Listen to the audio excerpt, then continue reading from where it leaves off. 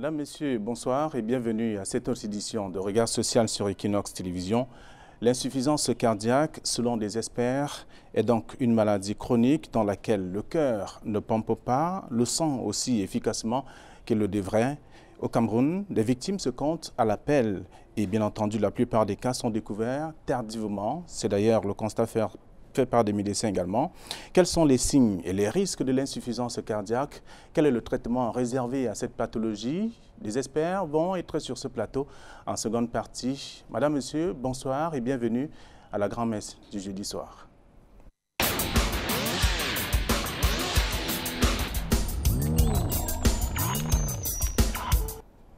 Et comme vous le savez, la seconde partie est consacrée euh, aux experts, bien entendu, j'allais dire aux, cas sociaux qui sont généralement présentés par cette émission Regard Social. Et euh, sur ce plateau, nous avons quelques cas recensés au PIF. Il y en a plusieurs, comme vous allez d'ailleurs le constater à partir de ceux qui sont déjà sur ce plateau. Nous avons euh, Goufak Ange, qui est la fillette que vous regardez d'ailleurs, et qui est avec nous, et son papa, la porte. Bonsoir Josué. Bonsoir Monsieur Flavien, bonsoir à tous les invités et bonsoir à tous les nombreux téléspectateurs d'Equinox Télévision. Vous êtes avec euh, votre fille, elle a 3 ans et euh, vous dites qu'elle est malade. Elle souffre de quoi? Oui, euh, d'après les médecins, ma fille souffre de l'hypertrophie ventriculaire. Enfin, les médecins ont appelé ça une malformation du cœur.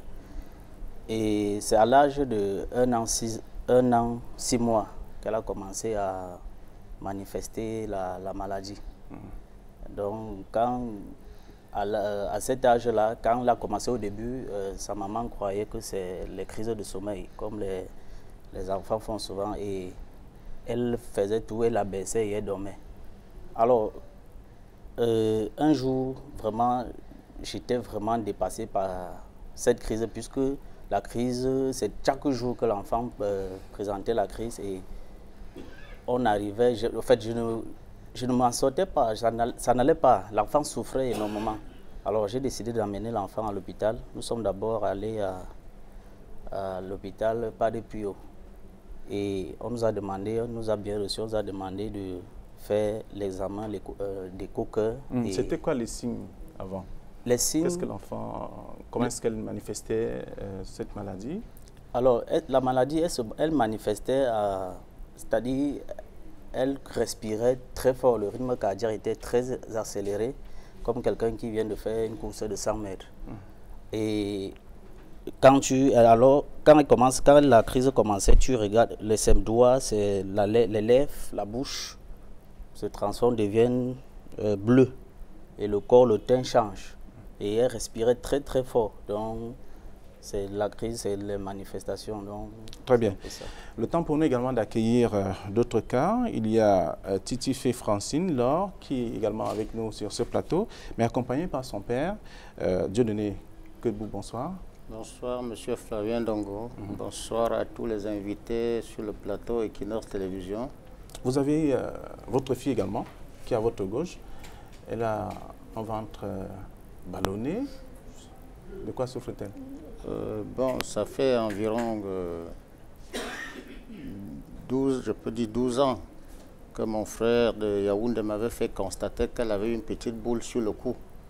Moi, je n'avais pas encore euh, constaté. Et au fil des jours, la boule ne faisait que gonfler, gonfler. au départ, on croyait que peut-être c'était un abcès. C'est au fil des jours qu'on a compris que c'était plutôt une maladie qui se signalait. Moi, j'avais pensé à la goitre. J'avais aussi peur d'amener à l'hôpital parce que euh, le, truc comme ça sur le coup, bon, moi j'ai trop peur de faire opérer. Bon, au fil des jours, comme ça ne faisait que se gonfler, gonfler, ses amis se moquaient d'elle. Elle m'a dit, papa, il faut m'amener à l'hôpital. Mes amis se moquent de moi, je n'arrive même plus à fréquenter. J'étais donc obligé de l'amener devant le médecin. Il m'a fait faire des examens. Il m'a fait comprendre qu'il fallait automatiquement opérer. Ce qu'on a fait. Et après les examens, vous avez découvert qu'elle a... Euh, a, il m'a dit qu'il fallait opérer le côté, puisque c'était gonflé sur un côté. Qu'il fallait opérer avant d'examiner la boule qu'on devait sortir dedans pour savoir si c'est une tumeur ou un cancer de la thyroïde. Après, dans l'opération, Il m'a fait payer le frais. Il m'a dit d'aller attendre à la maison avec l'enfant. Il va m'appeler. Une semaine après, il m'appelle. Je viens et me dit donc, il faut donc amener cet enfant à l'hôpital général. Ce n'est pas une tumeur comme je pensais, mais c'est plutôt un, un, cancer de la thyroïde. On est donc arrivé à l'hôpital général le même mois. Le médecin de l'hôpital général a opéré encore le, le, le, second côté et l'a soumettre sur un traitement à vie depuis, depuis 2012. Mm -hmm. Depuis 2012, elle est sur un traitement à vie. Par, et à côté de cette maladie, elle a une autre Elle a une autre qui venait de se signaler, ça ne fait pas deux ans. Je crois que c'est dans les vacances dernières que le ventre a commencé à gonfler. L'a mené à l'hôpital, la Quintini, devant un généraliste. Il nous a fait comprendre qu'il fallait l'amener plutôt chez un cardiologue. Le cardiologue, à son tour, l'a examiné, m'a fait faire des examens. Il m'a fait comprendre qu'elle avait aussi euh, l'insuffisance cardiaque. Donc actuellement, là où elle suit deux traitements à vie. Donc le traitement devant l'encrinologue et devant le cardiologue. Très bien. Vous allez davantage nous expliquer euh, les manifestations, comment est-ce qu'elle vit avec durant ces derniers temps. Euh, également sur ce plateau, euh, Ngomanga Marie-Solange. Bonsoir. Bonsoir, monsieur. Vous également, vous êtes malade Oui, monsieur. Vous souffrez de quoi? Insuffisance cardiaque et la cirrhose de foie. Qui vous a dit ça? Quand ça a commencé, c'est d'abord le cœur qui a commencé à l'enterrement de mon père depuis 2013. Je me suis évanouie, j'ai perdu connaissance. On m'a apporté, on m'a amené à l'hôpital du district des ECA. Là-bas, ils ont dit que non, ils ne peuvent pas, qu'on m'évacue sur Yaoundé. C'est là où ma tante a dit que, selon ce que mon grand frère me disait, parce qu'il avait perdu connaissance, que non, on part plutôt à Sarbaïmi, qu'il y a un professeur actuellement là qui travaille bien. Comme on m'amène là-bas, on m'a amené à Sarbaïmi. Je ne sais pas à quelle heure nous sommes arrivés. Je me suis réveillée vers les 23 heures parce que l'enterrement se passait entre 10h30 et 11h. Donc quand je me suis réveillée, c'était vers les 23 heures. J'ai trouvé comment on m'avait mis les choses partout, partout au niveau du cœur. J'étais couchée là, je ne savais même pas là où j'étais. Quand je me suis réveillée, on a appelé mon grand frère, il est venu, le professeur est venu. Il a demandé à mon frère de payer tous les examens a demandé là. Il a payé, il a fait. Quand c'est sorti, j'avais fait là-bas une semaine. Il a dit à mon frère que ça, c'est l'insuffisance cardiaque. Il faut que tu l'amènes sur Douala. Arrivé à Douala, il y a les spécialistes là-bas qui vont la suivre. C'est comme ça que après une semaine d'hospitalisation là-bas, nous sommes venus à Douala. Mon frère, nous sommes allés à l'hôpital général. On nous a fait rencontrer un cardiologue, M. Gauthier, en 2013. Donc, depuis 2013 là, jusqu'à en 2006, c'est lui qui me suivait, il me suivait, il me suivait, il me suivait. Il me dit que j'ai l'insuffisance cardiaque et qu'il faut qu'on m'opère le cœur. Vous ne souffrez pas que de l'insuffisance cardiaque? Oui. Il est également inscrit sur votre dossier Mm -hmm. que vous avez euh, la cirrhose La de foie. cirrhose de foie. Après, quand on n'avait plus l'argent pour aller à l'hôpital général, l'argent était fini. Un jour, je me suis écoulée à la maison. Ma fille m'a apporté, amené à la cantine. J'avais déjà le ventre aussi. Là-bas, toujours un cardiologue nous a reçus. On nous a hospitalisés là-bas parce que j'étais toujours au coma. J'avais fait une semaine au coma là-bas. Quand je suis sortie du coma, alors qu'on m'a chez un spécialiste neurologue pour faire les examens du ventre. C'est donc là-bas où nous sommes partis. Elle a dit que non seulement j'ai l'insuffisance cardiaque, J'ai aussi la cirrhose du foie. C'est ça qui fait gonfler le ventre Oui. Alors, de temps en temps, on a commencé à lever l'eau pour me soulager, pour que je puisse dormir parce que je ne parvenais pas à dormir. Quand je dors, la respiration part. On a commencé donc à lever l'eau, à lever l'eau, à lever l'eau jusqu'à présent. Il n'y a pas de solution. Vous êtes allé à l'indigène aussi? Ah, Pas encore. Vous allez voir les, les tradis praticiens? Non. Pas encore. Quels sont vos moments tristes? Ah, je vais dire quoi? C'est comme ça que je suis depuis 2013. Ma famille a essayé d'aider là. Après tout le monde, personne n'avait plus les moyens. Je suis là à la maison avec les enfants.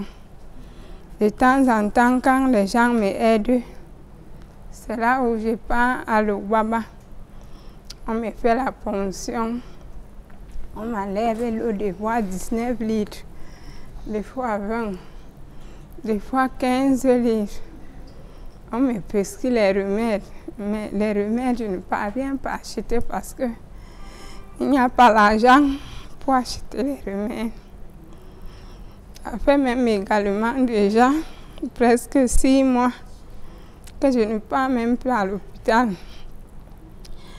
J'ai mon garçon, mon deuxième fils. Il a 12 ans.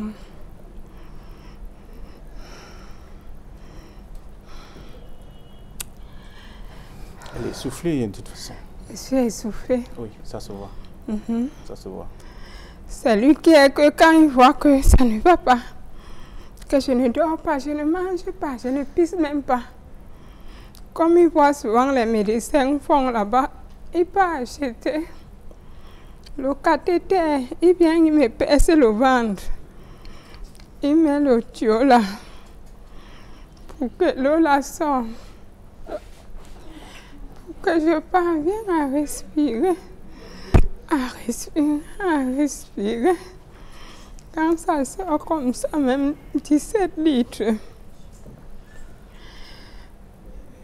il arrête, il prend la compresse et la bétadine comme il voit souvent le docteur faire là-bas. Il bande. Je suis allongée là, sur le lit. Il me contrôle le rythme cardiaque. Comme il avait dit qu'il va prendre la médecine, c'est ça qu'il prend à l'école. Il prend le téléphone, il chronomètre. Il regarde comment le rythme cardiaque ça fonctionne. Il me demande de temps en temps si ça va, si je peux m'asseoir. Des fois, c'est lui qui me tient, c'est lui qui me lave parce que ma fille est loin. Quand elle n'est pas là, c'est son petit frère. Ok. Je vous laisse le temps de, de récupérer un peu. Euh, le temps de voir également avec Emmanuel, euh, Dieu donné pardon. Comment vous vivez avec euh, cet enfant à la maison? Vous n'avez plus de moyens pour euh, la garder? Il y a des médicaments à acheter, il y a des examens à faire. Si, Euh, carrément, vous l'avez laissé à la maison. je ne l'ai pas laissé à la maison en tant que tel. Même aujourd'hui, j'étais à l'hôpital gynéco-obstétrique de Yassa avec elle pour rencontrer son médecin, euh, son encrinologue. Je suis même là comme ça avec des examens, quatre examens qu'elle qu'elle a prescrits. Demain, je serai chez le cardiologue. Il a prescrit aussi trois examens que je n'ai même pas, je n'ai même encore fait aucune. Il y a les médicaments prescrits. J'ai commencé à acheter. L'argent est fini.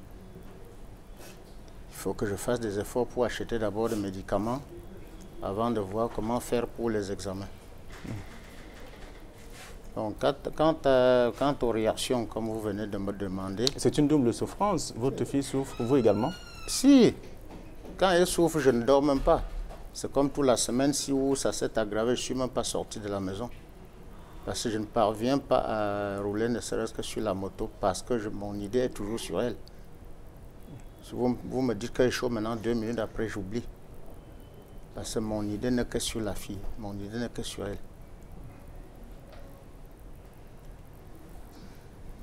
Alors, ça fait beaucoup d'années quand même. Elle a laissé l'école, elle n'a plus euh, eu le courage de partir à l'école lorsqu'on a découvert qu'elle avait euh, l'insuffisance cardiaque.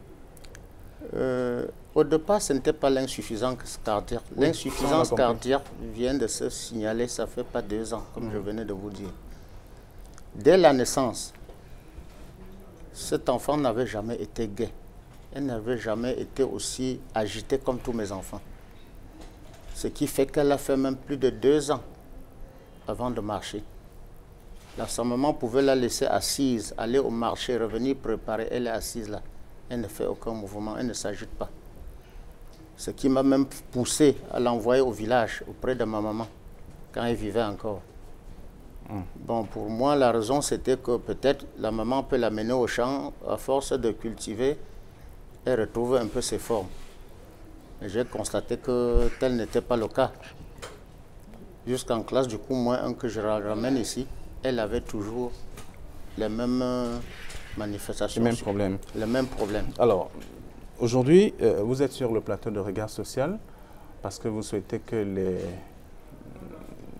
les téléspectateurs vous accompagnent dans la prise en charge de votre fille. Oui, monsieur Flavien Dongo. Euh, je vais commencer d'abord par les hommes de prière. Parce que rien ne peut passer sans prière. Je commence d'abord par les hommes d'église, les dirigeants de prière, de ne pas manquer d'insérer la prière de malades dans tout le monde entier sur leur programme du jour. Mhm. En particulier, ceux qui sont sur le plateau de télévision, euh, Télévision ce soir. Parce que euh, sans Dieu, rien ne peut avancer. Si cette fille vit encore aujourd'hui, ce n'est pas parce que je suis très fort. Ce n'est pas parce que sa maman est très forte. C'est grâce à Dieu qu'elle vit encore aujourd'hui. Oui. Sa maman, en passant, sa maman m'a dit hier qu'elle euh, a consommé aussi des décoctions qui ont été euh, concordées par des traduits praticiens. Bon, ça, c'était même à mon insu. Puisque moi, bon, j'avais constaté qu'il paraît qu'elle avait, elle est née comme ça moi, ma solution devait, pour moi, ma solution devait être trouvée à l'hôpital. C'est l'une de ces tantes qui a vu un traduit praticien qui l'a préparé un remède. Elle buvait, elle ne m'avait même pas signalé.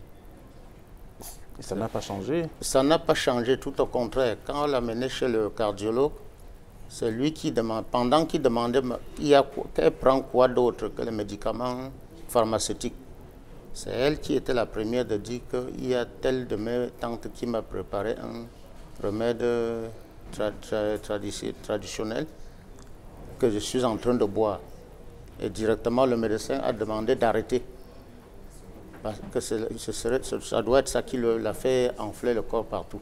Alors, depuis qu'elle est malade, euh, il n'y a pas évolution, il n'y a pas amélioration parce que vous ne suivez pas le traitement normalement, faute de moyens, c'est ça Faute de moyens, si. Ok, on comprend. Alors, euh, Josué, avec euh, Ange, c'est également difficile. Monsieur Flavien. Vous aussi, vous êtes allé à l'indigène Oui, à un moment donné, j'étais vraiment désespéré. Je n'avais même plus les moyens parce que euh, à force de trop marcher à l'hôpital, j'étais épuisé. Je n'avais plus les moyens. Alors, je me suis euh, rendu de côté des, des tradis praticiens pour, euh, croyant trouver la guérison pour Ange. Je suis allé chez les tradis praticiens, mais jusque-là, je n'ai pas trouvé une solution. Je suis même allé chez les hommes d'église, la prière. Jusqu'aujourd'hui, je prie toujours, nous prions toujours pour elle. Les hommes d'église prient toujours pour elle. Et jusque-là, franchement, je n'ai pas toujours trouvé la solution. Et au jour d'aujourd'hui, franchement, je suis essoufflé financièrement.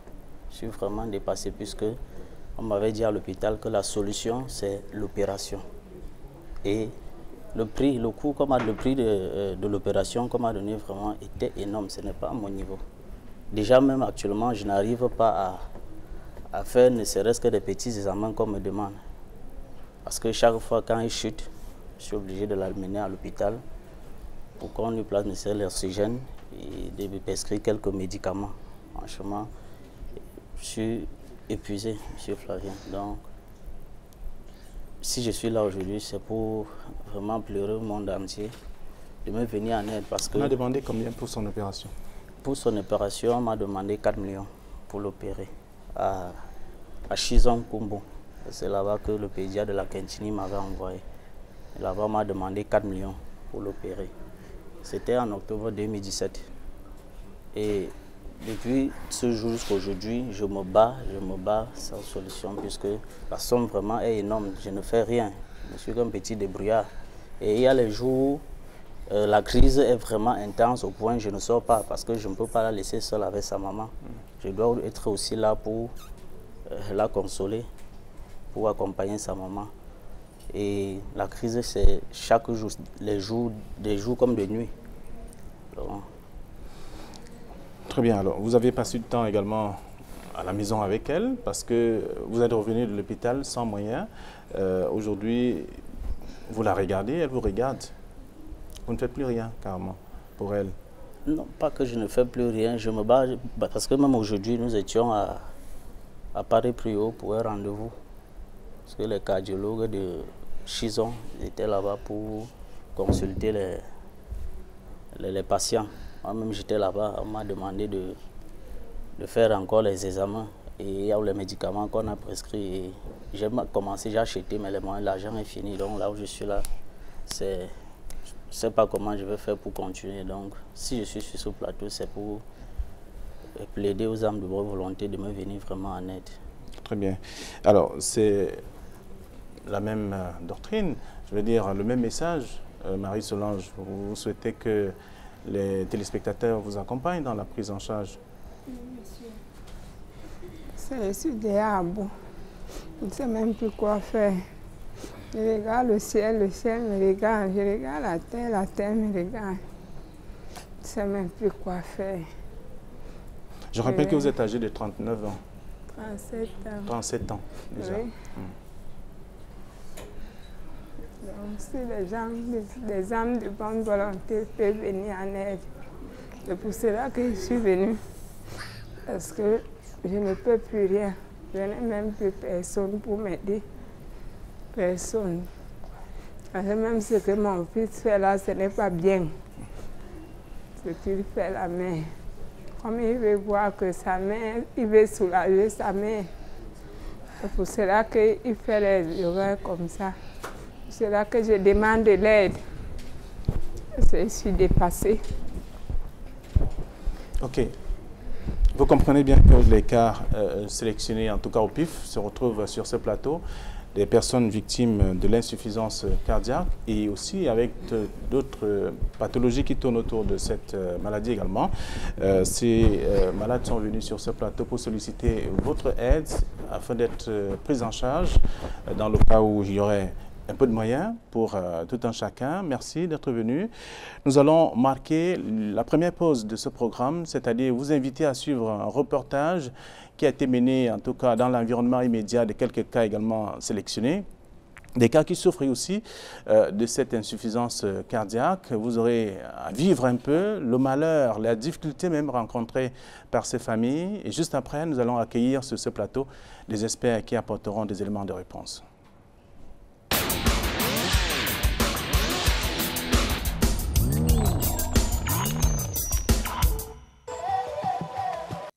Alors que les rayons de soleil tutoient le sol de Douala, capitale économique du Cameroun, la petite Ange mannequin, 3 ans, et sa mère, Sandrine Mana, traînent une mauvaise nouvelle.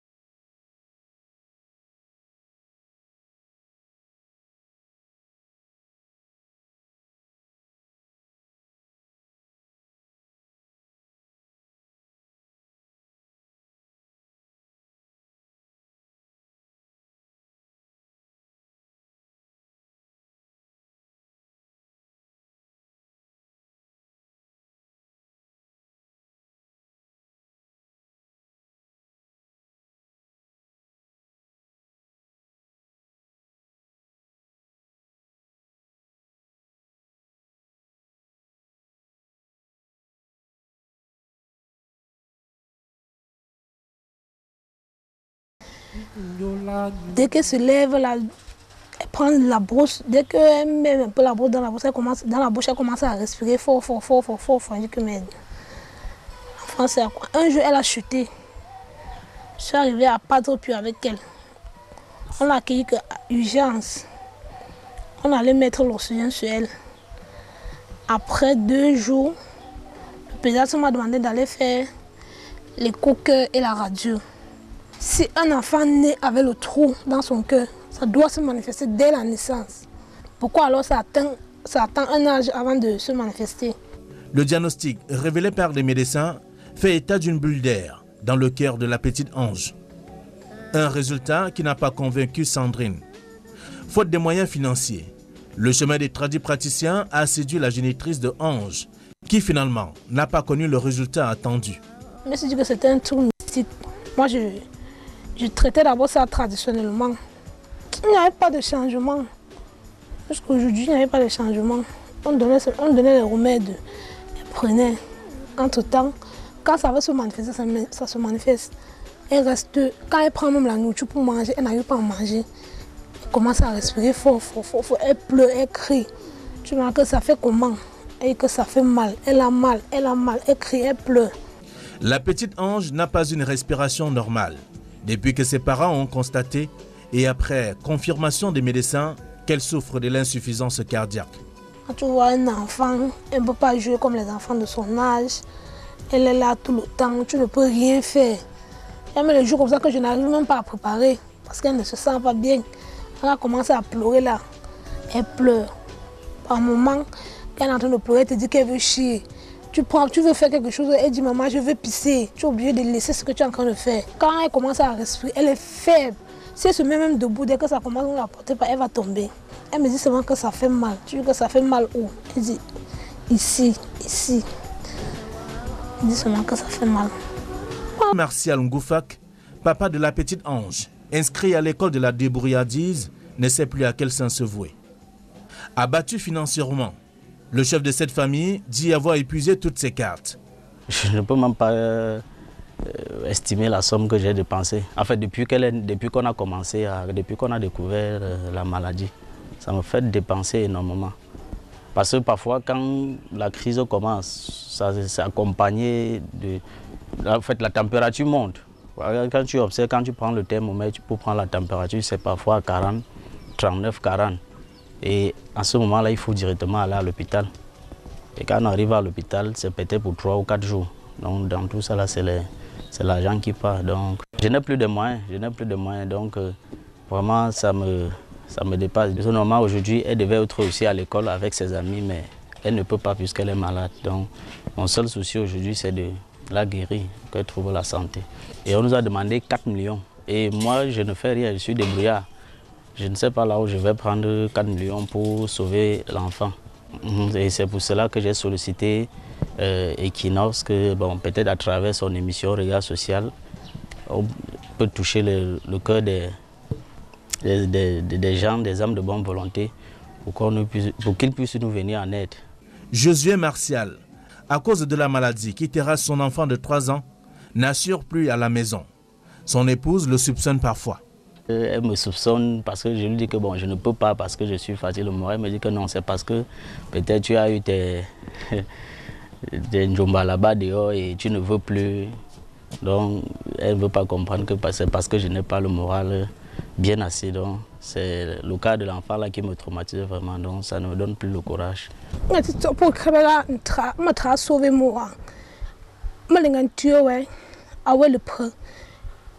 Mala bin za 4 million nga fi ku no nga ti tso moti tang shinge. Nga ti tso po me pa.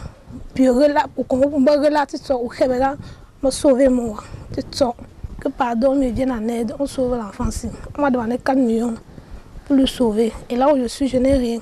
La petite ange passe des moments tristes des heures de calvaire à cause de la douleur. Elle pleure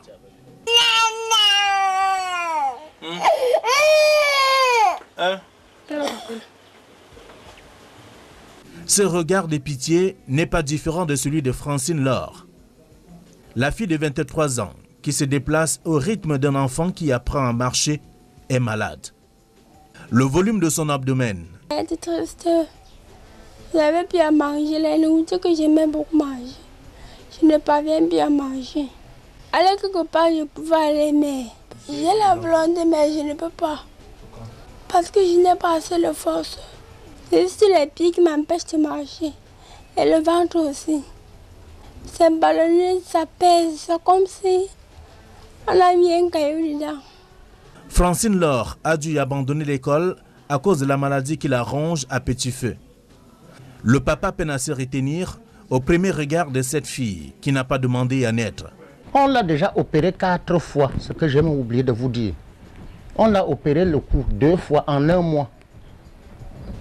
Ça fait pas deux ans qu'on a encore opéré tous ses deux yeux.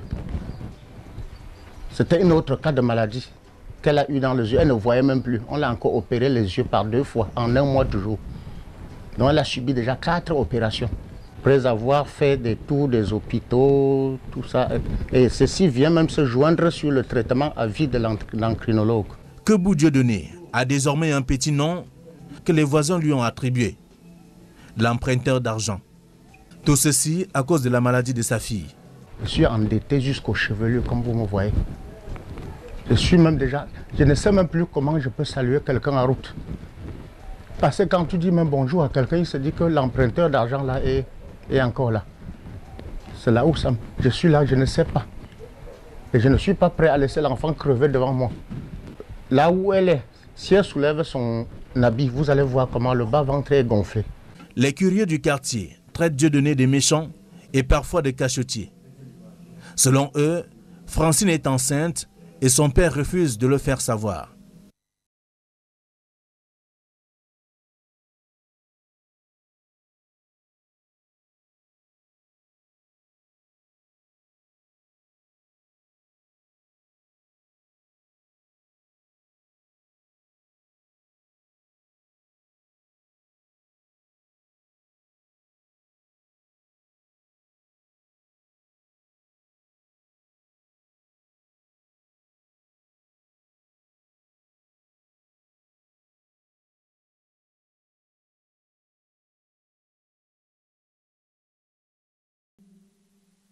Le ventre est gonflé. Tout le monde me demande, mais ta fille a pris la grossesse quand? Elle est même déjà à terme. Je dis non, elle n'est pas enceinte. C'est plutôt une maladie. Les gens ne comprennent pas. Ils pensent que peut-être je suis en train de cacher la grossesse de l'enfant. Oh, c'est plutôt une maladie. Elle a laissé l'école, ça fait trois ans. Elle avait bien envie de fréquenter. Bon, elle ne pouvait pas. Puisque tous les jours, il fallait qu'on m'appelle à l'école ou on appelle sa maman. L'enfant a chuté à l'école il faut, il faut laisser ce que tu es en train de faire pour courir à l'école, prendre la, la, prendre pour ramener à la maison. Là où elle est, même un bébé de deux mois, elle ne peut pas porter. Même laver un verre, elle ne peut pas. C'est donc un calvaire pour cette famille qui cherche le chemin du bonheur. Le bonheur de Francine, qui est malade depuis une dizaine d'années déjà.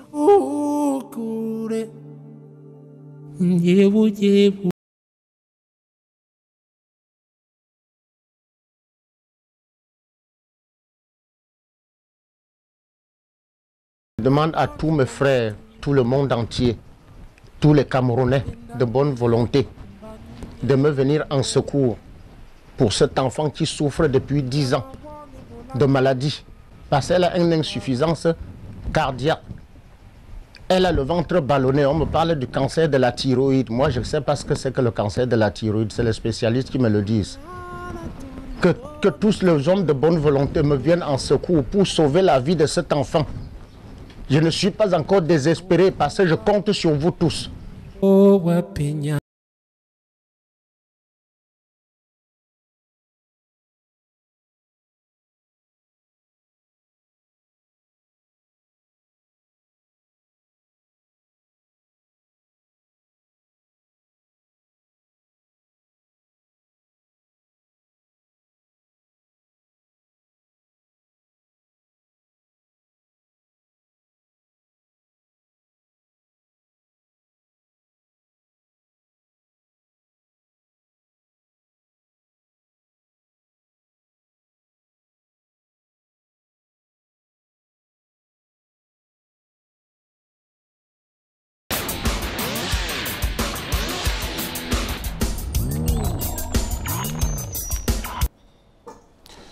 C'est tout à fait douloureux de voir mm, des êtres humains vivre de cette façon euh, et dans ces conditions également. Vous avez euh, eu l'occasion de vivre un peu le quotidien de ces personnes qui souffrent de l'insuffisance cardiaque. Quelques cas choisis au pif. Il y en a en tout cas assez, on le sait bien au Cameroun. Et pour essayer de comprendre cette pathologie avec des experts qui sont déjà sur ce plateau, professeur euh, Anastase Dieudier Tamja. Bonsoir. Bonsoir. Je- Merci pour l'invitation. Très bien. Vous êtes cardiologue, euh, rythmologue à l'hôpital général de Douala. Vous êtes agrégé de cardiologie, secrétaire scientifique de la Société camerounaise de cardiologie et vice-président de la Société panafricaine de cardiologie également. Euh, merci d'avoir accepté notre invitation. Merci également pour Alors, l'invitation. vous avez suivi ces cas, ces récits, vous vous sentez concerné par... euh, Oui, euh, on se sent concerné déjà par euh, la gravité de la maladie en elle-même, qui est une maladie qui est mal connue, malheureusement, du grand public, et qui est une maladie qui est fréquente et qui a des complications sévères. L'insuffisance cardiaque, euh, comme vous l'avez dit, hein, c'est une situation dans laquelle le cœur n'arrive plus à faire sa fonction essentielle. Alors, il faut savoir que le cœur normal a pour rôle essentiel de se contracter et de se relâcher euh, de façon rythmée et de façon permanente pour donner du sang à nos tissus, en sachant que chaque individu porte des milliards de cellules et que ces cellules-là doivent vivre. Et donc, quand le cœur devient incapable d'assurer cette fonction-là, c'est l'insuffisance cardiaque. C'est une maladie fréquente et grave. Très bien. Merci. Et vous aurez l'occasion de nous expliquer davantage, puisque ça fait partie de votre quotidien. Et avec nous également sur ce plateau, docteur Tchoukwa Serge Honoré. Bonsoir. Bonsoir. Vous êtes médecin, administrateur des finances, options, administration des hôpitaux et des universités, euh, économiste de la santé, il faut le préciser, raison pour laquelle vous êtes invité sur ce plateau, administrateur des cliniques universitaires des montagnes. Vous êtes aussi enseignant à la faculté de médecine, pharmacie et odontostomatique. Voilà, bienvenue également sur ce plateau. Merci, merci Flavien, merci de m'avoir invité ici pour apporter ma modeste contribution à la construction de notre nation. Très bien. Vous avez également suivi le- les témoignages de ces différents cas. Vraiment, je, je peux vous dire, je n'ai pas retenu mes larmes parce que nous sommes avant tout des hommes. Et cela dénote que le système de santé a un problème. Et un problème très grave. Et nous devons faire quelque chose pour que l'adéquation entre la prise en charge et le financement, qu'on qu'on retrouve au moins cet équilibre-là. Parce que vous avez entendu, c'est un problème de moyens financiers. Et vous savez, sans argent, on ne peut rien. Tout au long de celui-ci, nous allons essayer d'apporter quelques pistes pour pouvoir peut-être aider les uns et les autres à mieux comprendre ce que c'est qu'un système de santé et son financement et le rôle du, de- de- de- du pouvoir central pour pouvoir améliorer la santé des Camerounais. Très bien. Merci d'être également sur ce plateau. Docteur Ndadjif Nachar, bonsoir. Bonsoir. Vous êtes euh, sociologue et enseignant à l'Université de Douala. Vous êtes également très attaché aux questions sociales. Évidemment, c'est la discipline qui nous l'impose. Je vous permettrai peut-être que je dise également bonsoir aux autres membres du panel et votre public.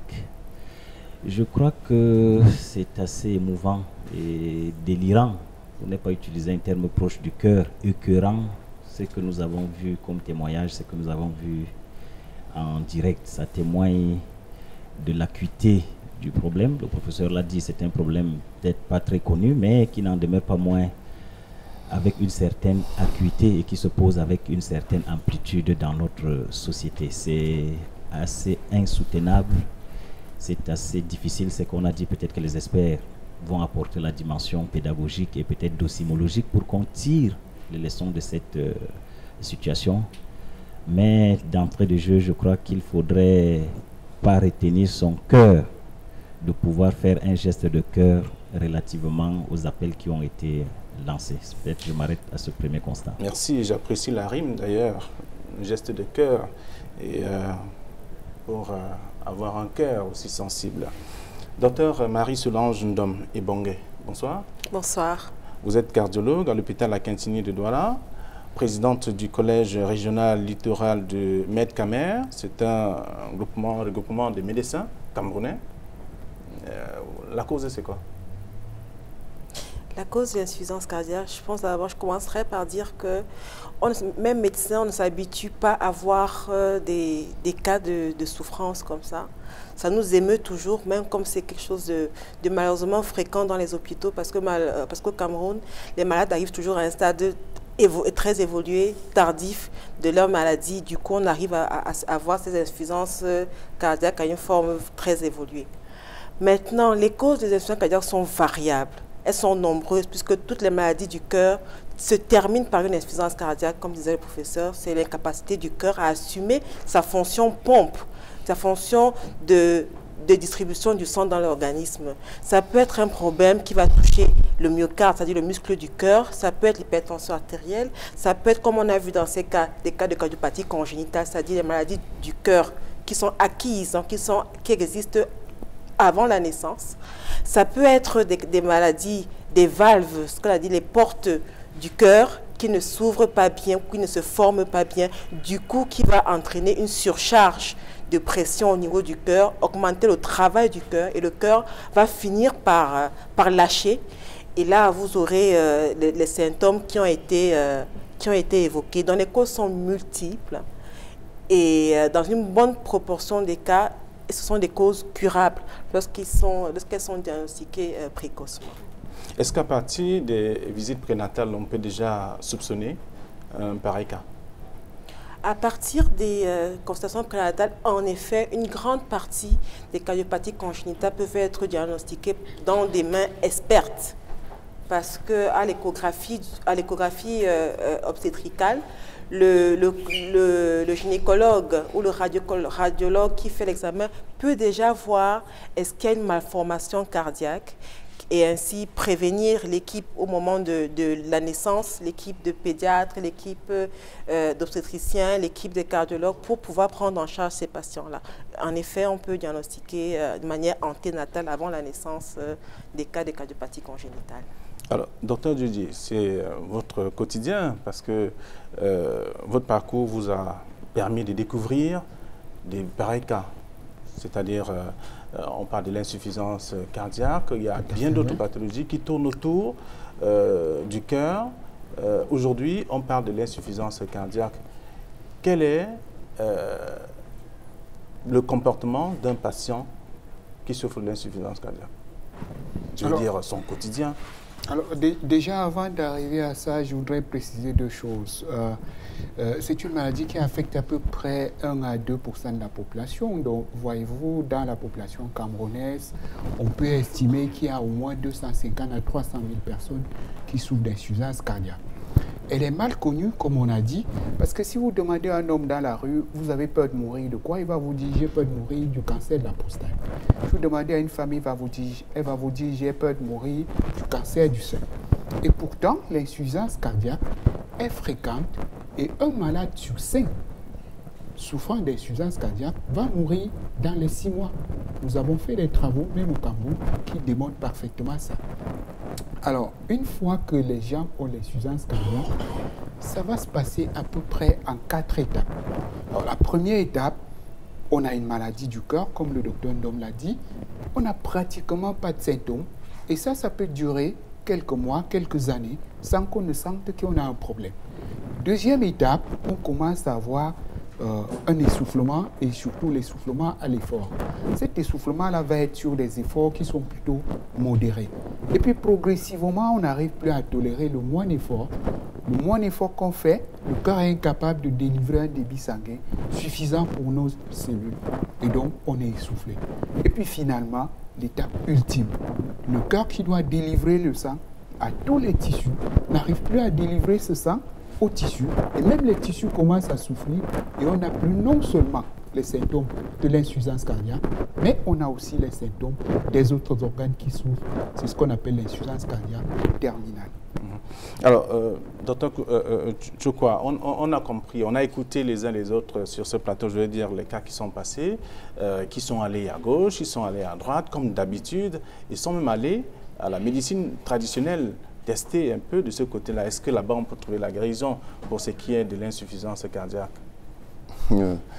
Flavien, vous savez, c'est pas facile d'expliquer à la population que la médecine conventionnelle, c'est la médecine pratiquée par des personnes qui ont sacrifié presque 11 ans de leur vie après un doctorat en médecine, après un, baccalauréat scientifique pour pouvoir apprendre cette médecine et être spécialiste dans un domaine pour pouvoir poser des, actes. Et ce sont ces actes-là que nous codifions sur le plan financier. C'est-à-dire en économie de la santé, nous codifions ces actes-là pour améliorer le quotidien des uns et des autres. Bon, en médecine, dans le, en médecine traditionnelle, l'insuffisance cardiaque, ma foi, je ne crois pas un cardiothérapeute qui va pouvoir administrer des potions magiques pour guérir un patient souffrant d'insuffisance cardiaque, je ne crois pas, d'un parce que c'est très compliqué. Vous voyez même la prise en charge avec des grands professeurs, comme le professeur agrégé assis à votre gauche, et ma consoeur cardiologue également assise à ma, à ma gauche, c'est pas facile. Il, faut, il, faut, il faut vraiment un niveau de, de, de médecine très élevé. Parce que là, il faut équilibrer beaucoup de paramètres, surtout les paramètres hémodynamiques chez ces patients-là, pour les maintenir en vie pendant, pour gagner quelques jours. Parce qu'on connaît déjà l'issue. On connaît l'issue. Donc, euh, ce n'est pas facile. La médecine traditionnelle, non, on ne pourra pas. Oui, puisque vous avez parlé de votre gauche, docteur Ndom, euh, je voudrais bien comprendre. La maman a posé la question tout à l'heure, la maman de Ange, comment est-ce qu'un cœur peut se retrouver avec un trou?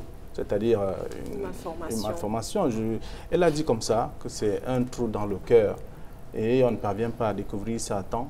C'est quand l'enfant grandit qu'on se rend compte. Il faut savoir que pendant, le, pendant la grossesse, il y a ce qu'on appelle l'embryogénèse, la formation des organes. Et que cette formation des organes peut être perturbée par des médicaments que la maman prend pendant la grossesse. C'est l'occasion pour moi de dire à toutes les femmes enceintes qu'aucun médicament ne doit être pris sans l'accord du médecin.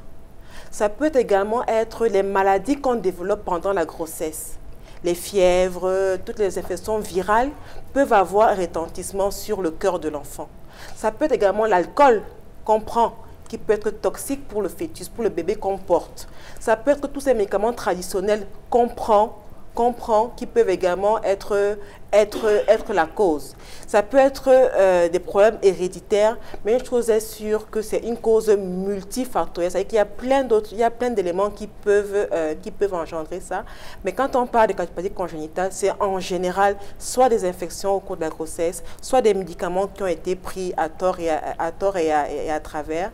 Et comme on a dit, le diagnostic peut, peut être fait. Donc la prévention, c'est d'avoir premièrement une grossesse bien suivi. Deuxièmement, faire attention à ce qu'on prend comme médicament et comme alimentation pendant la grossesse. Et l'alcool reste, l'alcool et le tabac restent des fléaux qui peuvent euh, favoriser ce genre de malformation. La malformation, la, cette malformation peut, peut toucher plusieurs tuniques plusieurs tuniques de, du cœur, ça qui peut expliquer que, au moment de la, de, la, naissance, on ne se rend pas compte que l'enfant a une malformation. C'est avec le temps, lorsque les besoins en oxygène de l'enfant augmentent, qu'on peut, l'enfant va peut-être avoir du mal à téter. Quand il tète, il transpire beaucoup ou il pleure parce qu'il a déjà une surcharge. Ça peut être vraiment quand l'enfant est plus grand, qu'on voit que euh, l'enfant est malade, ou bien ça peut alors être immédiatement, dès que l'enfant naît, il ne respire pas bien, il est bleu, ce qu'on appelle une cyanose, parce que le, le sang n'est pas oxygéné par, euh, par le, par le poumon. Donc, du coup, ça, ça se manifeste immédiatement à, à la naissance mais c'est vraiment des choses qui peuvent être euh, euh, de manière évolutive sur plusieurs années pour pouvoir, euh, pour pouvoir se, se, révéler. Et tout à l'heure, mon collègue parlait de la des médicaments traditionnels. C'est important de dire que ces médicaments peuvent être efficaces, mais ils peuvent également être une cause d'aggravation de la maladie. Parce que dans l'insuffisance cardiaque, comme on vous l'a dit, il y a une surcharge en volume, une surcharge en liquide. En général, on demande de faire une restriction hydrique, de diminuer la quantité d'eau qu'on boit pour pouvoir diminuer le travail du cœur. Donc en général, quand on vous fait boire beaucoup de ces potions-là, au contraire, on, apporte de manière excessive des liquides qui va encore fragiliser un cœur qui est déjà fragile. Alors, prof, avant de donner la parole à Dr Ngadjif, on, a également suivi il y a euh, Marie Solange qui était également sur ce plateau, euh, qui dit euh, qu'on a découvert deux pathologies. D'abord, l'insuffisance cardiaque et ensuite la cirrhose de foie. Donc, associé, c'est être exposé oui, alors, c'est deux maladies, c'est deux maladies qui affectent deux organes différents et qui en même temps peuvent être liés. Donc, le cœur, au départ, une fois qu'il est malade, euh, on va avoir les symptômes qu'on a vus, hein, l'essoufflement, la fatigue, les pieds qui enflent, mais aussi le ventre qui peut enfler. Et le ventre peut enfler parce que le foie ne marche plus bien. Et quand le foie ne marche plus bien, on peut avoir de l'acide. Donc quand le cœur est malade, on peut avoir ça. Ouais, il y a aussi effectivement une maladie qui affecte le foie, qui est aussi une insuffisance du foie, comme on peut dire l'insuffisance cardiaque, et qui est généralement donc euh, qui est la cirrhose et qui va se manifester par cette insuffisance du foie avec une augmentation du ventre, une augmentation du, des liquides dans le ventre et également au niveau des pieds. Donc les deux maladies peuvent être liées, comme les deux maladies peuvent être indépendantes, mais l'association va concourir ici à aggraver davantage le malade. Ce qui est important, c'est mhm. vraiment de dépister ces maladies-là à une phase très précoce, parce que quand les deux sont déjà installés et que les deux sont interdépendants comme ça, euh, même les traitements les plus récents, eh bien, il faut une grande discipline et il faut ces traitements-là à vie pour arriver à améliorer le malade. Oui, on observe, on constate que euh, ces patients ont un élément commun, c'est-à-dire le ventre ballonnée, euh, à côté de celle qui a déjà la cirrhose de foie et euh, l'insuffisance cardiaque. Il n'y a que la petite aussi, et qui a simplement euh, l'insuffisance cardiaque, mais avec aussi un ventre qui prend du volume. C'est l'élément commun finalement. C'est l'élément commun, pas forcément la cirrhose, mhm. mais ce qu'il faut comprendre, comme docteur Ndom l'a dit, c'est qu'au départ, on a un essoufflement. Et au fur et à mesure que ça va durer, que le cœur va être défaillant, d'autres choses vont s'ajouter. On va retenir un peu plus de sel. L'organisme sera incapable d'éliminer le sel. Et qui dit incapacité d'éliminer le sel dit aussi incapacité d'éliminer de l'eau. Et donc, ça fait enfler les pieds, ça fait enfler le ventre. On est essoufflé et on est fatigué. Et, donc, effectivement, si le ventre est très enflé, on peut aussi se poser la question de savoir si le foie n'est pas malade également. Très bien. Alors, docteur Gandifna, on observe également que ces familles sont, je vais dire, à côté de ce que, de, ce que le patient, euh, le malade subit déjà, la famille est également malade parce que c'est elle qui doit s'occuper de quelqu'un qui n'est qui pas en santé. Disons qu'avant de répondre à votre question, vous me permettrez peut-être de réagir par rapport aux deux dernières interventions. Je voudrais peut-être devant l'ignorance du sociologue procéder par une démarche maïtique pour poser quand même un peu de questions pour éclairer un peu la lanterne. Alors, l'étude qui a été menée par le professeur, par le groupe de recherche, je suppose, du professeur, ressort quand même un certain nombre de statistiques pour dire que sur 5 cas, mhm. je crois qu'il y a dans un espace temporel semestriel, il peut y avoir des cas de, décès. C'est-à-dire que la conclusion immédiate, c'est que c'est un problème, je crois, de santé publique. Donc c'est assez grave. Et si à cela nous, nous ajoutons notre simple culture générale sur la simple approche de la fonction régalienne du cœur, c'est-à-dire, je parle sous le contrôle, qui joue le rôle de systole et de diastole, c'est-à-dire que d'éléments régulateurs, d'éléments épurateurs, finalement d'éléments vital du cœur. Quel est, d'où vient donc ce paradoxe que notre politique sanitaire ne puisse pas mettre un point d'honneur sur cette question, puisque véritablement, le cœur, c'est la vie. Alors pourquoi il n'y a pas préséance peut-être dans l'organisation? Est-ce que les perspectives de l'étude ne devraient pas donner à une certaine préséance dérouler au moins un tapis vert à ce que le cœur ait quelque chose d'assez fondamental? C'est ce paradoxe que je voulais a priori soulever. Pourquoi c'est la vie et pourquoi ça n'attire pas trop euh, c'est pas quoi, soit d'études, soit des financements. On a parlé du sida, on a parlé d'autres pandémies, ainsi de suite et autres. Est-ce que les politiques sanitaires ou bien même la science tout court ne se penchent pas pour poser véritablement le problème, pour dire peut-être d'abord le cœur, sida et autres ensuite? Par exemple, je voudrais docteur, partager... Docteur, euh, tu, euh, tu quoi, va répondre à cette question. Voilà, partager cette ignorance. Je reviens, maintenant sur, oui, je reviens maintenant sur votre question. Je crois que ce sont des conséquences en série Naturellement, vous avez vu dans les témoignages, il est évident, épatant et indiscutable d'une vérité absolue que c'est la précarité qui pousse véritablement ses parents à se retourner vers, pas les vendeurs d'illusions, je ne dirais pas non plus les charlatans, vers la médecine peut-être traditionnelle, qui malheureusement, comme l'a révélé le docteur, a peut-être un aspect positif, mais il y a des aspects pervers et puis quelquefois nocifs aussi que nous ne contrôlons pas, puisque scientifiquement, ce n'est pas peut-être démontré. L'autre cause, ces malades deviennent ce qu'on appelle en sociologie la famille des handicaps rédhibitoires, c'est-à-dire que des causes réelles, insurmontables de sous-développement et de paupérisation même de ces, de, ces gardes malades. Vous avez vu la maman, à peine son témoignage est vivant, de dire qu'elle veut peut-être s'occuper d'une tâche, peut-être du ménage, que l'enfant souhaite peut-être aller euh, euh, peut-être pisser, aller demander ceci, ainsi de suite et autres. En principe, il cloue au pilori tout l'environnement familial. Je n'en dirai pas plus du papa qui est au chevet de sa fille, qui maintenant souffre des aspects des stéréotypes, des stigmates et des préjugés. Il est vu devant l'éternel comme un éternel endetté. C'est-à-dire que vous ne pouvez pas soutenir son visage. À, le voir, vous avez tendance à vérifier si peut-être par une alchimie, il ne soutirerait pas quelque chose de la poche puisqu'il a vidé son capital, par exemple, demain. Donc, il y a une répercussion nette, indiscutable sur l'environnement familial dont ceux-là qui supportent au quotidien ces malades. Très bien. Euh, docteur quoi vous répondez à cette question? Oui, avec plaisir. Je suis, je suis très content que cette question, euh, que ce soit un, expert en sociologie qui pose cette question système, sur le système de santé. pas expert en cardiologie. Oui, justement, non. C'est non, c'est une question de, bon sens.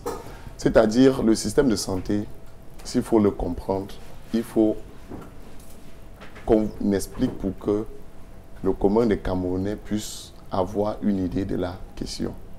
C'est-à-dire, le système de santé, c'est quoi? Le système de santé, je, je peux qualifier cela de deux choses.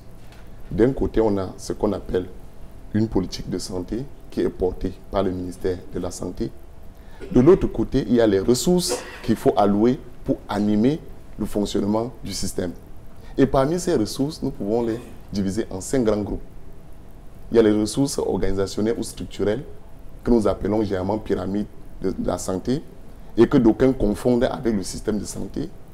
C'est-à-dire la pyramide sanitaire est un élément, c'est-à-dire l'hierarchisation des hôpitaux, les hôpitaux de catégorie, première catégorie, ainsi de suite, jusqu'au 7e, 8e, 10e catégorie. De l'autre côté, nous avons ce qu'on appelle les ressources matérielles. Ces ressources matérielles, c'est quoi? C'est tout ce qui entre dans le, plateau technique, dans la prise en charge. Les ressources financières, j'y reviendrai parce que ces ressources-là sont vraiment insuffisantes avec une population qui vit avec le seuil, au seuil de la pauvreté, c'est très compliqué. La quatrième ressource, c'est les ressources humaines.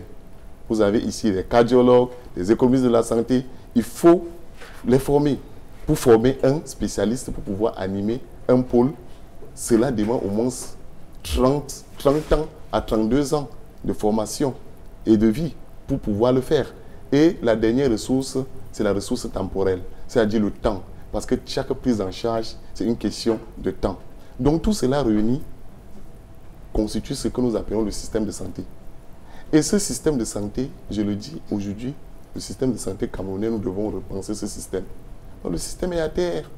Je peux même dire en dessous, en dessous de zéro, parce que c'est très grave. Quand vous voyez, vous regardez une émission Regard social, c'est l'image de la population camerounaise. C'est l'image des ménages. C'est l'image de ce que nous vivons. Quand quelqu'un vous dit, j'ai bradé tout, c'est-à-dire une épisode de maladie, suffit pour, pour, pour rendre une famille dépendante des cotisations des uns et des autres. D'où la question d'assurance maladie universelle.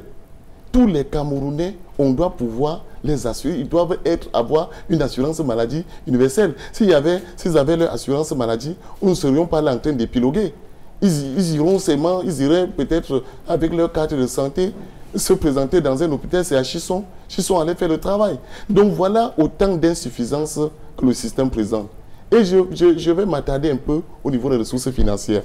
L'OMS stipule que chaque pays qui veut avoir un système de santé viable doit, mettre, doit dépenser, c'est-à-dire dans la cagnotte santé, au moins 15% du PIB, c'est-à-dire 15% du produit intérieur brut. Or, dans notre contexte, nous sommes à peu près à peine 2-3%, avec des conséquences que nous connaissons. Le, la corruption, le clientélisme, le régionalisme, l'ethnocentrisme, tout cela, et avec comme résultat que j'appelle les outputs, parce que quand vous mettez les inputs, c'est-à-dire vous mettez tout ce qui ne marche pas, après vous aurez un résultat. Et le résultat, c'est quoi? C'est ce que nous vivons aujourd'hui. Et la baisse de l'expérience de vie qui va croissant. Et je chuterai en disant, ça doit attirer, c'est-à-dire les pouvoirs publics doivent se réveiller. Regardez les levées de corps dans les morgues commencent quand? Le lundi. Allez-y voir toutes les morgues du Cameroun. 33 ans, 35 ans, 40 ans, 33 ans, 35 ans, 40 ans. Avec ça, nous pensons aller à l'émergence, c'est un problème. Donc c'est, je vous assure, quand vous pensez au système de santé camerounais, vous savez que nous naviguons, nous allons droit au mur. Quel est l'avenir? Parce que n'importe qui, nous avons une durée de vie à peine 70 ans. N'importe qui aimerait rouler sur une bonne route, manger une bonne nourriture, aller au cinéma, vivre le temps que Dieu lui permet de vivre sur terre. Or, aujourd'hui, c'est problématique. Et nous tous, même médecins que nous sommes, nous sommes tous malades. Donc vraiment, la situation est, critique. Finalement, on comprend, tout le monde est malade de toute façon. Le critique au point de devenir un problème Je, pense qu'il fait, je pense que euh, le docteur fait un diagnostic euh, d'expertise euh, du système de santé. Oui. Alors, qui, qui n'a peut-être pas grand-chose à voir avec les cas que nous avons, bon, ça c'est un, élément de ce système qu'il a évoqué. Absolument.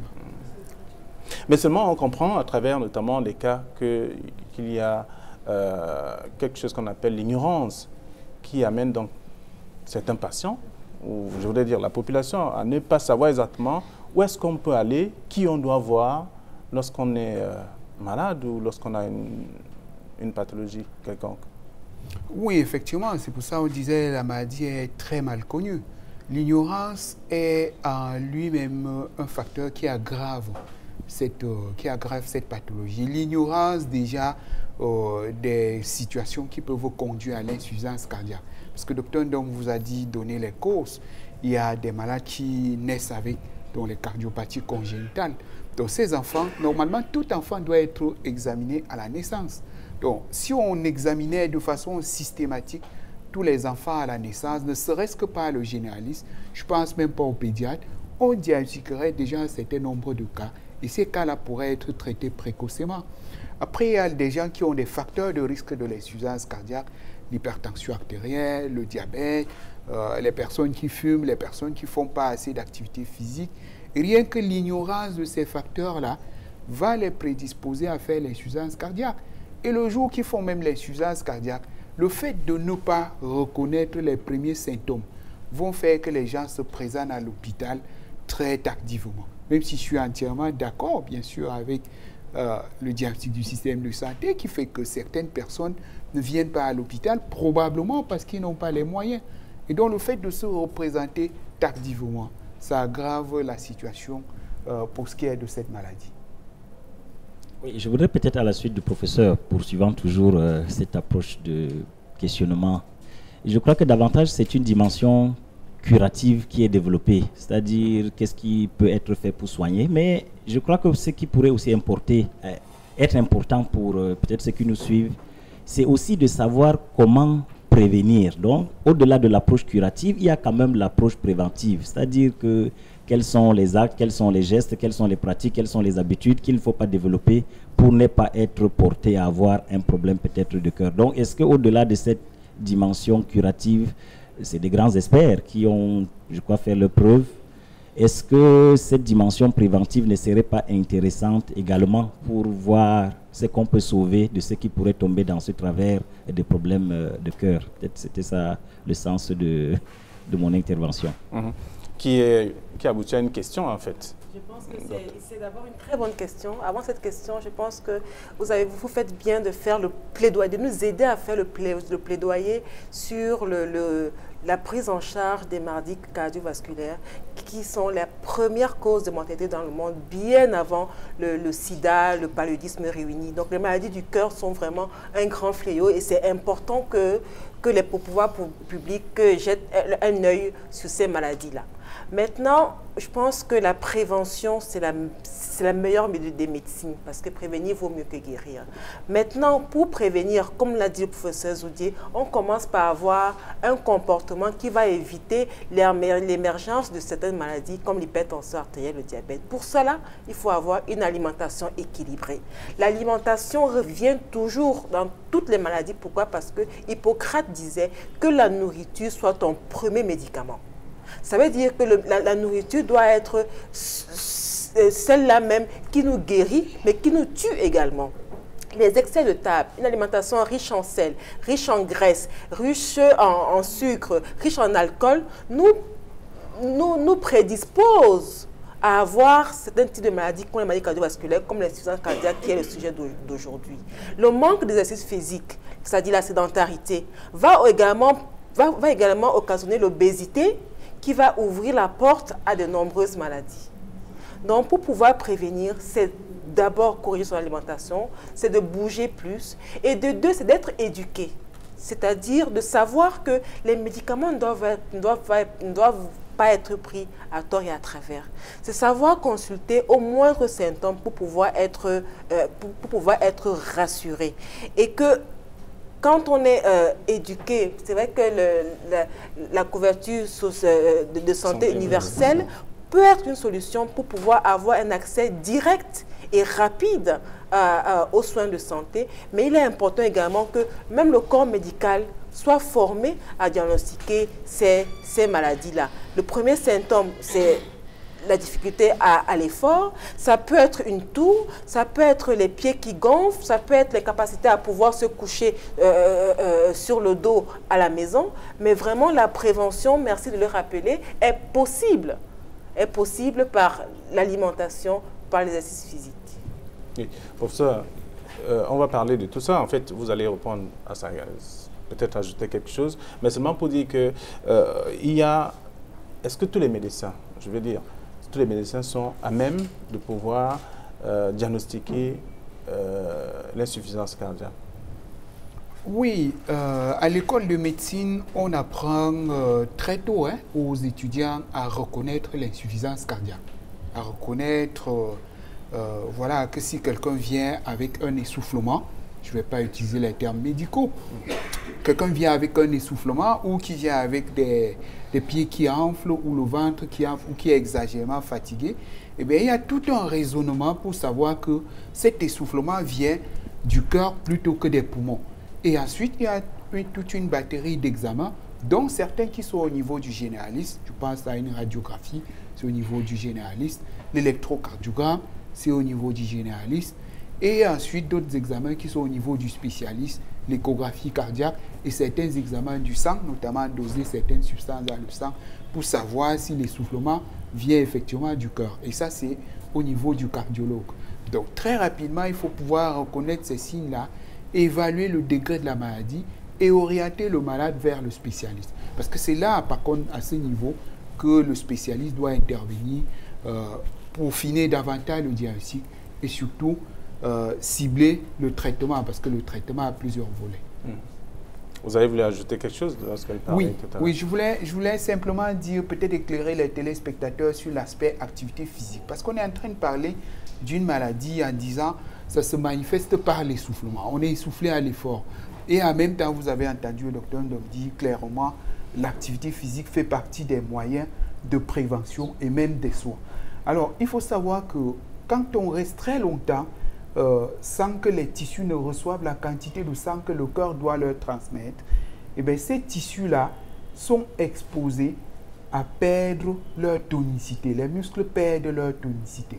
Et une fois qu'on a équilibré les malades, la seule façon de regagner la tonicité et leur donner la possibilité de tolérer davantage les efforts, c'est de les rééduquer à comment faire une activité physique.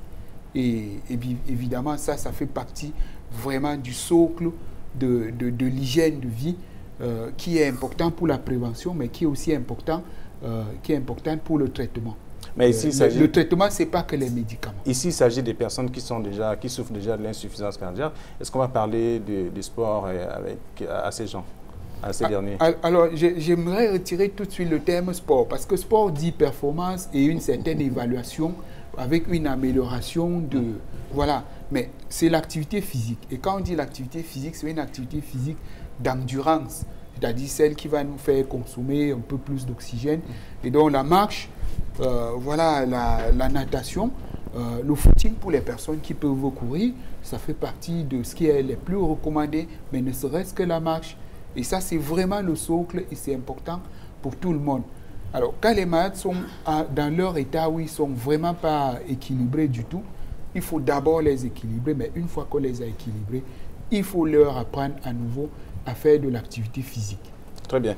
Alors, les patients qui sont passés sur ce plateau veulent savoir si, après un traitement, demain, ils pourront retrouver la santé. C'est ce qu'on doit maintenant attaquer. Il est question d'expliquer, même pas à ceux qui étaient sur ce plateau, même ceux qui nous regardent à travers euh, le Cameroun, l'Afrique et même le monde, euh, pour comprendre un peu, est-ce que lorsqu'on souffre de l'insuffisance cardiaque, on, est, on peut recouvrer la santé et vivre aussi aisément? Euh, Merci pour la question. Il y a plusieurs stades, mhm. c'est-à-dire plusieurs stades, plusieurs gravités de la maladie. Mais à toutes les étapes, il va falloir prendre des médicaments. Et les médicaments qu'on va prescrire dans les soins cardiaques seront pour pouvoir répondre à certains problèmes un problème. Donc, de manière aiguë, on veut d'abord soulager le patient pour qu'il puisse respirer normalement et le vider, c'est-à-dire que les pieds et le ventre ne soient plus gonflés. Dans ce cas, on va prescrire une classe de médicaments qui va pouvoir les faire perdre ce liquide-là.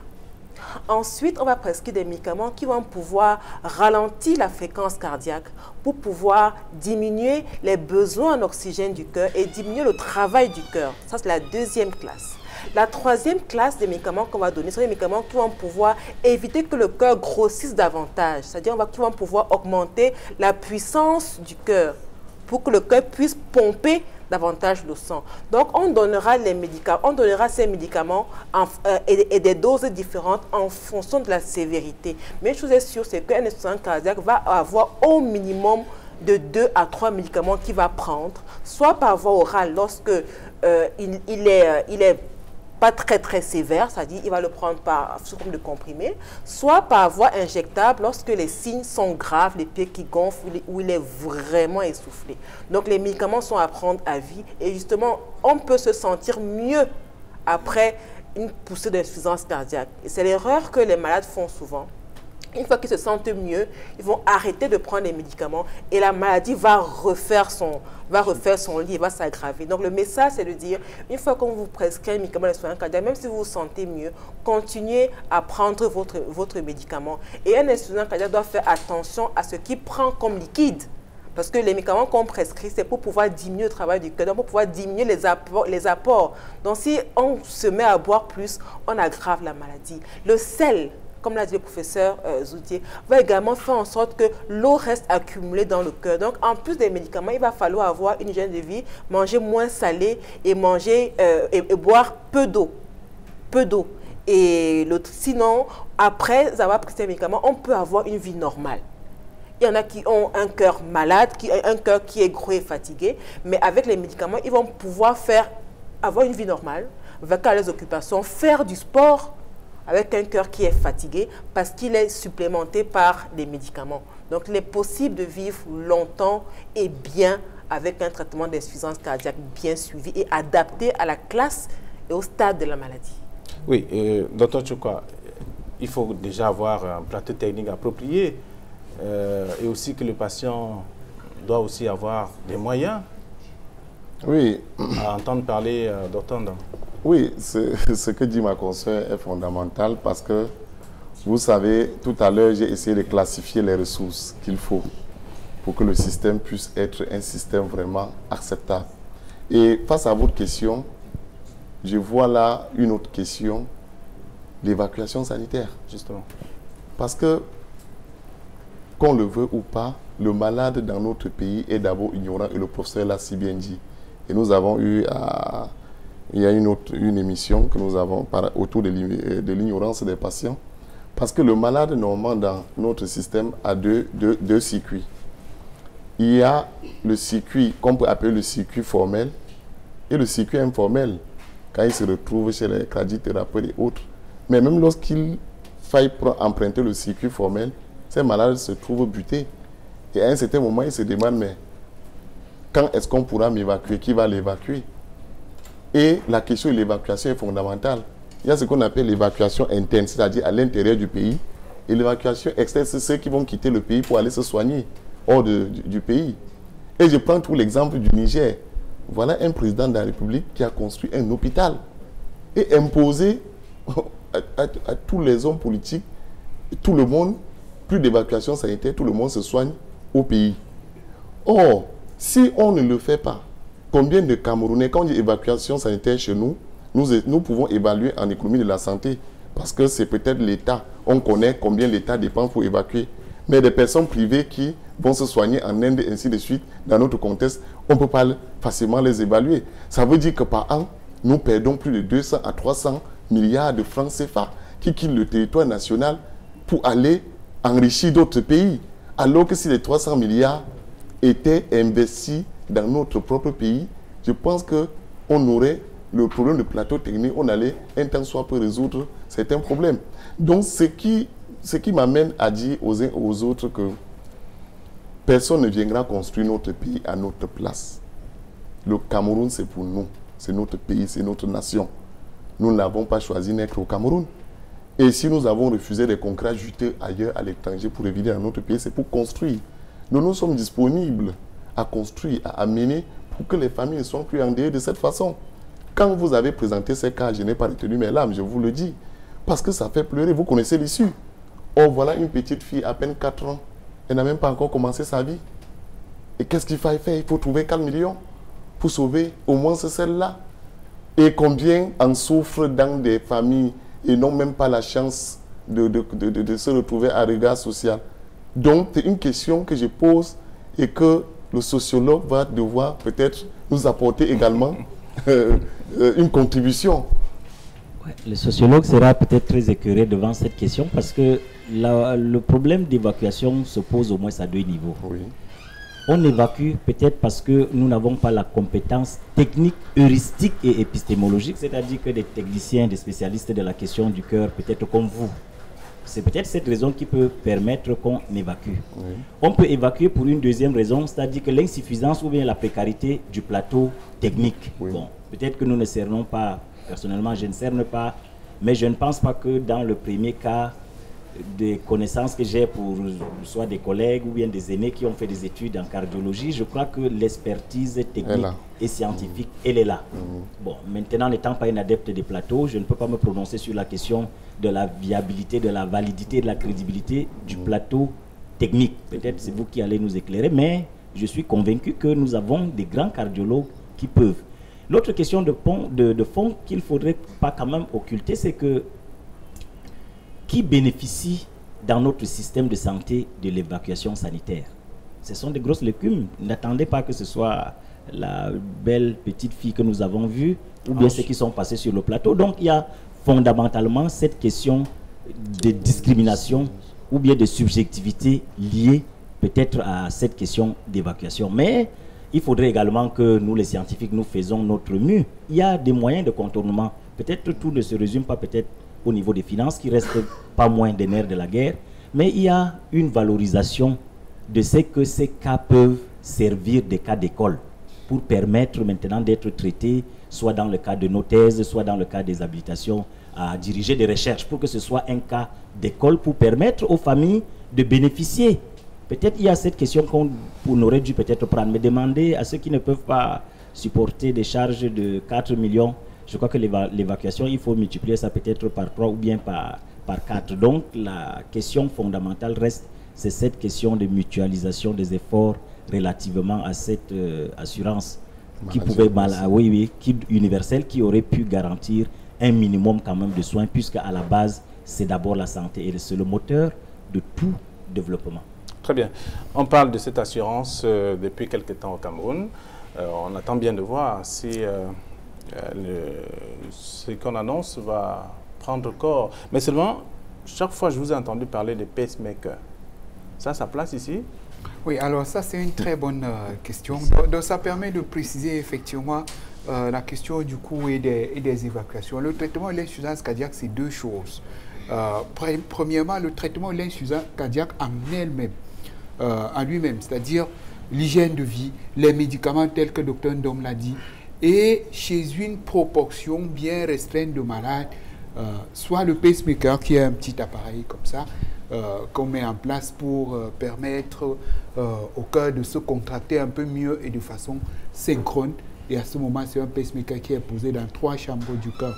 Mais ça peut également être toujours ce petit appareil, mais plutôt ce qu'on appelle un défibrillateur cardiaque. Mais ça, c'est pour une poignée de malades bien sélectionnés.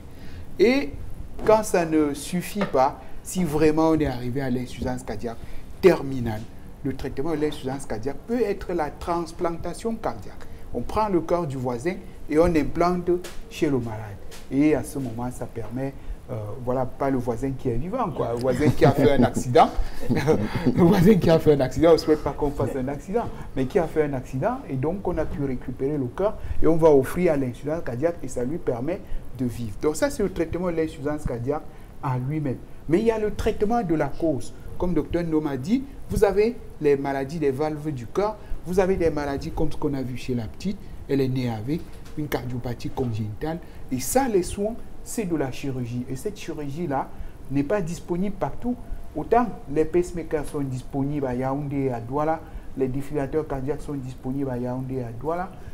Quand ça concerne cette chirurgie cardiaque, l'hôpital général de Douala en fait sur deux missions par an.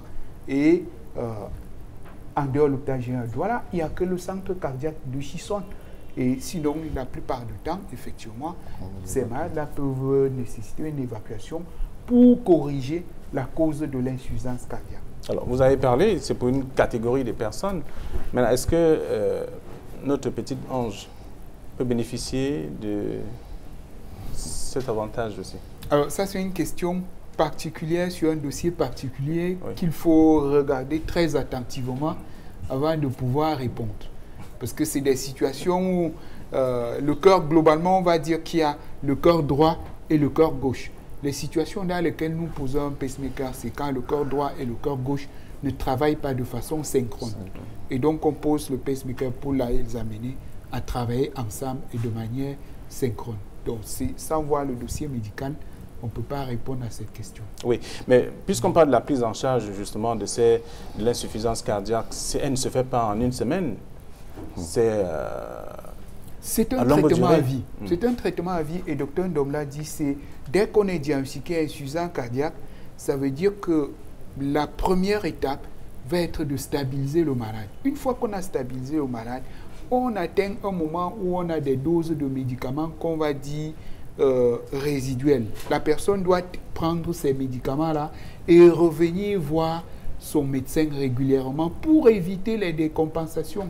Parce que sinon, on va faire des épisodes où on est essoufflé, les pieds sont enflés, on est obligé d'être hospitalisé et on va et on revient très régulièrement. Alors, pour éviter ces épisodes-là, il faut voir son médecin régulièrement pour lui permettre d'anticiper sur ces épisodes-là et reculer autant que possible les hospitalisations. Et ce n'est qu'à ce prix que les malades peuvent vivre plus longtemps. Alors, docteur Gandifna, ces euh, patients qui sont venus sur ce plateau, justement, sont venus toquer à la porte de la solidarité. Euh, vous comprenez bien qu'ils ont besoin de moyens financiers pour euh, être pris en charge. Je crois que de mon point de vue, il n'y a aucune raison pour n'importe qui de ne pas pouvoir débourser quelque chose pour appuyer ces familles. Parce qu'il faudrait seulement se situer dans une approche dichotomique, on peut se dire, cette fille qui est née avec euh, probablement ce problème aurait pu être l'enfant de chacun d'entre nous. C'est-à-dire que pour qui connaît au moins une paternité ou bien une maternité, devrait se sentir interpellé par rapport à cette question pour dire, s'il a eu la grâce d'avoir des enfants qui n'ont pas eu, c'est le temps de payer le prix en aidant celle-là.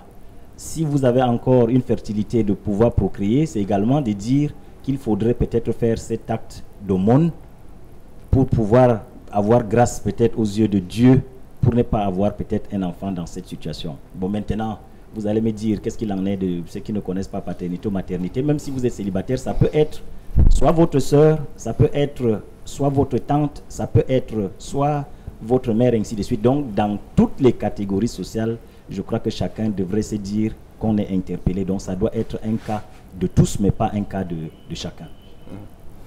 Je voudrais, je voudrais dire quelque chose, si vous le permettez, par rapport au cas de, l'enfant qui a une cardiopathie congénitale, c'est-à-dire une anomalie du cœur avec laquelle elle est née. Si la, la, la cause est traitée, elle peut avoir l'espoir d'avoir une vie normale. C'est-à-dire on peut corriger l'insuffisance cardiaque. Ce n'est pas totalement irréversible. Lorsqu'on a une valve, une porte du cœur qui est défaillante, le fait de la changer permet d'avoir une vie quasi normale. Donc, euh, ce ne sont pas des maladies incurables. Et ces prises en charge pour la totalité peuvent être faites au Cameroun. Donc, il faut simplement avoir les moyens financiers. Les moyens diagnostiques sont là. On a le plateau technique suffisant pour pouvoir poser le diagnostic d'une cardiaque. On a les médicaments disponibles au Cameroun en générique, en spécialité pour pouvoir traiter ces malades. On a des chirurgiens cardiovasculaires pédiatriques et adultes qui peuvent corriger ces cardiopathies. Donc vraiment, ce, qui manque, c'est le nerf de la guerre. Ce n'est ni le plateau technique, ni les médecins. Alors, quelle est la chance que vous donnez à, ces différents cas Vous choisissez un cas ou vous accordez une chance à un cas euh, Le hasard a voulu que euh, Marie Solange qui soit là, c'est une de, nos patientes à la Quintini. C'est nous qui avons posé, vraiment le hasard a voulu que c'est ce cas que je retrouve ici. On a fait ce qu'on peut pour pouvoir l'aider. Mais maintenant, c'est la conjonction de deux, de deux, maladies, donc de deux spécialités. Et il faut une conjonction de, ces deux efforts pour pouvoir prendre en charge. Et comme j'ai dit, le problème, c'est le nerf de la guerre, c'est le problème financier. Par rapport à cet enfant, on a des séries des, enfants qui ont bénéficié d'une chirurgie, aussi bien à l'hôpital général de Douala qu'à Chisson, et qui ont une vie tout à fait, euh, tout à fait normale. Donc, euh, et le reste, c'est le bon Dieu qui, qui sait le, jour et l'heure de chacun. Alors, docteur euh, vous êtes un patron d'une formation sanitaire. C'est aussi une occasion pour vous de nous dire s'il y a une possibilité d'aider euh, l'une de ces familles. nous, allons, nous allons analyser, nous allons analyser les différents dossiers avec l'aide des confrères ici. Et je vais soumettre ces dossiers-là à l'appréciation du président de l'institution de l'Université de Montagne. Et nous verrons ce qu'il faille faire pour, pour, ces malades. Parce que, comme vous le savez, euh, l'objectif, ce n'est pas toujours de gagner de l'argent. L'objectif, c'est de sauver une vie. C'est la raison pour laquelle nous avons prêté serment. C'est pour sauver des vies, ce n'est pas pour en, pour en tuer. Donc, euh, nous sommes là pour ça. Donc je vais porter tout cela à l'attention du président de l'institution qui, ma foi, je pense qu'il me suit à pareil moment. Et il verra, euh, le président Lazare Kaché, il verra ce qu'il ce qu'il faut faire pour, pour ces différents malades. Il est à noter déjà que le, dernier cas que vous avez eu ici est en train d'être pris en charge au clinique universitaire de Montagne, qui est le CHU d'application de l'université de Montagne.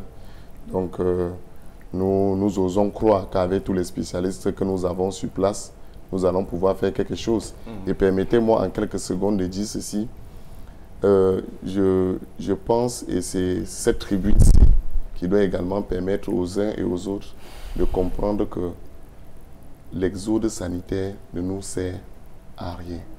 Si on peut avoir dans sa zone des hôpitaux capables de vous soigner ça ne sert à rien de venir à Douala et à Yaoundé. Et c'est cette politique-là que nous avons mis sur pied pour essayer d'améliorer le quotidien des Camerounais parce que la situation est vraiment critique. Très bien. Alors, on comprend bien qu'il y a des difficultés et qu'on devrait en tout cas nous serrer les mains. On se serre les coudes pour euh, euh, se soutenir et aider également les autres. C'est la raison pour laquelle euh, ces patients sont venus sur ce plateau, tendre la main à ceux qui ont encore le sens de la pitié et de l'aide également pour aider ces derniers à pouvoir être pris en charge parce que c'est ça aussi l'important. vous voulez ajouter quelque chose Non, pas de particulier, sauf à dire qu'au-delà de ce qu'on peut avoir comme euh, thérapie, je crois que le premier remède, celui qui est universel, est d'abord psychologique, de rassurer les patients et l'environnement familial de ces patients, de dire que tant qu'il y a la vie, il y a espoir. Et puis, il n'y a que Dieu qui donne la vie, il n'y a que lui qui ôte. Les médecins qui sont sur le plateau et qui ont prêté le serment d'Hippocrate ne vont pas me trahir. Je crois qu'ils ont l'obligation de soigner, mais pas nécessairement de guérir. Donc, euh, dans le prolongement des festivités pascales, puisque nous sortons de Pâques, je reste convaincu que tous ces patients retrouveront leur santé avec l'appui de ces instruments de Dieu que sont donc ces cardiologues. Très bien. Merci à vous, professeur, d'être venu sur ce plateau partager avec euh, nos chers téléspectateurs, nous dire un peu, enfin nous dire qu'il y a de l'espoir justement euh, pour ces familles qui souffrent aujourd'hui et que euh, à partir notamment des moyens financiers qu'on va certainement avoir à, travers également le geste de tout un chacun, on verra ces enfants d'abord anges et bien entendu ces patients retrouver le sourire parce que c'est ça qui manque également pour vivre aussi longtemps. Merci, docteur Dom. Euh, merci également pour euh, Maître. Merci à vous, euh, docteur Turquois. Et on espère bien que la suite, c'est avec vous, nos chers téléspectateurs, qui vont continuer à soutenir les différents cas, comme c'est déjà le cas avec ces personnes qui souffrent des blessures des plaies inguérissables, en tout cas des plaies chroniques qui sont passées sur ce plateau. Et on voit bien que ces personnes ont également besoin du soutien pour être aussi euh, à l'abri, notamment de ces malheurs euh, qu'elles rencontrent tous les jours. Et avec euh, des vies aussi compliquées, difficiles, le quotidien, on voit bien dans ces différents reportages. Juste après, nous allons recevoir Irène Tembe pour nous parler de la situation financière de ces cas.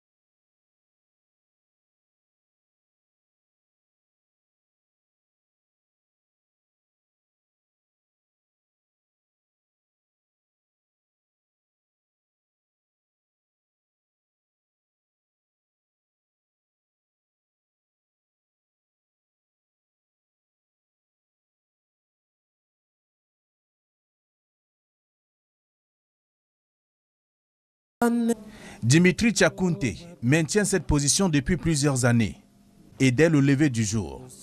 Le jeune de 23 ans, à la voix amortie à cause de la douleur, se souvient du début de la maladie qui le traumatise alors qu'il était adolescent. Je souffre des blessures au niveau de la cheville depuis 5 ans. Et quand ça a commencé, j'étais au village à ce moment-là. Les, les peaux étaient froissées au niveau de la cheville. Bon, c'est quand on faisait le pansement qu'on a enlevé les peaux qui étaient froissées là, qu'on a constaté qu'à l'intérieur, il y avait des blessures. Bon, à fur et à mesure qu'on faisait le pansement, ça ne faisait que augmenter. Dimitri a dû mettre un terme aux études à cause des plaies qui ont envahi ses chevilles.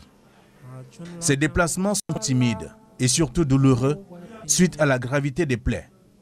Dimitri et ses parents ont engagé des démarches pour comprendre les causes des plaies qui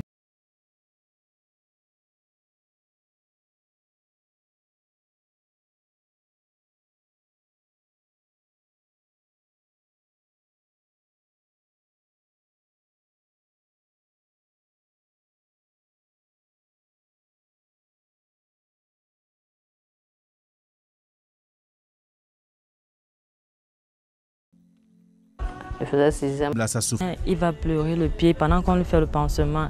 Il va crier, tu auras l'impression qu'on vient de l'arracher son cœur. Tu vas se sauter du lit à 6 heures. Dis-moi, c'est quoi? Ça fait mal, ça fait mal. On me déteste, on me... C'est la douleur qui lui fait dire cela. Quand les gens vont partir, il va se mettre à pleurer. Il me dit, si je pouvais voir où je vais prendre un truc, je meurs. Je lui dis, le Seigneur pardonne tous les péchés, sauf celui qui se suicide. Laisse que le Seigneur t'appelle lui-même, ne te suicide pas. Il a tellement mal que même le ménage à la maison, avant, il le faisait, mais maintenant, tout le monde constate qu'il ne peut pas faire le ménage, il ne peut pas. Donc, quelquefois, j'ai même envie de m'énerver. Pourquoi je ne fais pas le ménage? Mais je constate qu'il a mal et je ne peux pas m'en prendre à lui. Donc, ça fait que je dois le faire à sa place. Ou alors, quelqu'un d'autre, un autre enfant doit le faire à sa place. Venons lui en aide et sachant que si on a aidé Jimmy, c'est comme si on a aidé soi-même. Exactement comme on dit, c'est dans la difficulté qu'on reconnaît ses vrais amis. Jimmy a besoin de soutien. Il ne rêve que d'une chose, c'est que ses blessures quittent ses pieds pour qu'il puisse devenir actif. Parce qu'au fond de lui, en fait, il est un garçon serviable. Mais il ne peut pas parce que les blessures l'empêchent d'être... De... souffre d'une plaie depuis 14 ans qui ne guérit pas jusqu'ici. Je ne suis pas née infirme. Je sors infirme, mais jusqu'à là, je continue à l'école malgré le retard. Je continue avec l'école. Quand je continue, ça ne, ça ne donne pas, je laisse chanter dans l'activité. Je me rappelle parce que c'était en saison pluvieuse, j'avais, je portais les chakas à ce moment-là. Le, lendemain du jour, là, je voulais porter mes chakas. J'ai constaté que j'avais un petit bouton. Je me suis dit que peut-être c'est le chaka. Comme je, je n'ai pas l'habitude de porter, que peut-être c'est ça. Je suis quand même allée au boulot. Le soir, ça a démangé, j'ai gâté. Quand j'ai gâté, ça a donné, commencé à donner, à soigner l'eau, de l'eau. Ça ne finissait pas. Nadine, et malgré son handicap, était une battante. Mais depuis qu'elle subit la pression de la plaie, elle a tout perdu. A tout pris mes économies, puisque je n'ai plus rien rien du tout. Je ne parviens même plus, je ne sors même pas, même pas sorti. Je suis à la maison du premier repenteur. Le bailleur a même voulu me mettre dehors, mais quand lui-même il a vu l'état de mon pied, il m'a laissé. Je suis à neuf mois la maison impayée et franchement, ce sont les voisins qui me donnent à manger. Les médecins rencontrés par Nadine lui ont donné des explications sur le cas qui la traumatise depuis 14 ans. J'ai fait des tours des hôpitaux, franchement ça n'a pas abouti. Les autres ont dit que c'est l'excès brûlé, je sais quoi. D'autres ont dit que ce sont les veines bouchées, que les veines sont bouchées. pas toujours de solution. Je suis à 14 ans avec ce problème que vous me voyez là. Je ne dors pas, je me lave, je m'assois là jusqu'au matin. À 5 heures, je me lève. Je ne peux pas dormir parce que je vais passer tout le temps à tapoter. Ça me fait mal. Nadine scrute le ciel depuis des années sans solution. Celle la souffrance reste son quotidien. Je n'ai jamais vu ce genre de souffrance depuis ma naissance. Il est d'abord cassé le même pied quand j'étais petite. Je veux grandir maintenant pour entamer mes trucs. Ce problème vient encore.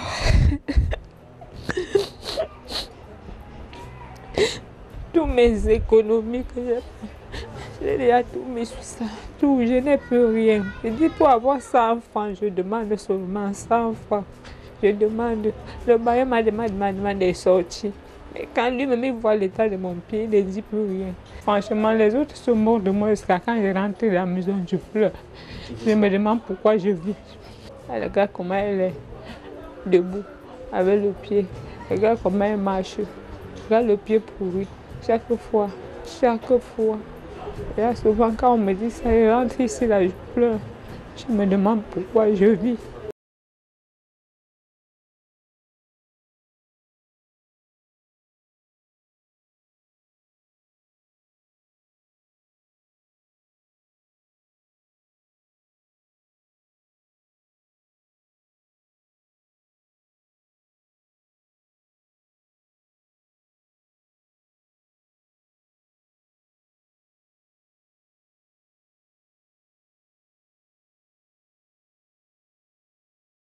Des voisins, les camarades et autres personnes qui courtoient Nadine au quotidien sont dépassés par la souffrance qui la ronge depuis 14 ans.